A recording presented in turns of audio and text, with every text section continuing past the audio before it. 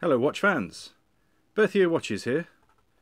This time for you we have a circa 1975 Rambler day date watch. Now this is in absolutely fantastic condition. We've never seen another case like this. We've never seen anything of this brand, this fantastic brown chocolate dial, which we've added a brown chocolate strap. Uh, it's a chunky old thing, hand wound, it's a bayonet case back, so you just twist it sort of 15 20 degrees and it will pop off, but it keeps it nice and watertight. 21 jewel movement inside. Uh, we've never seen another. We don't know much about the brand. If you know more, please tell us. But there's no way that we were going to turn down a watch in this condition that's this distinctive.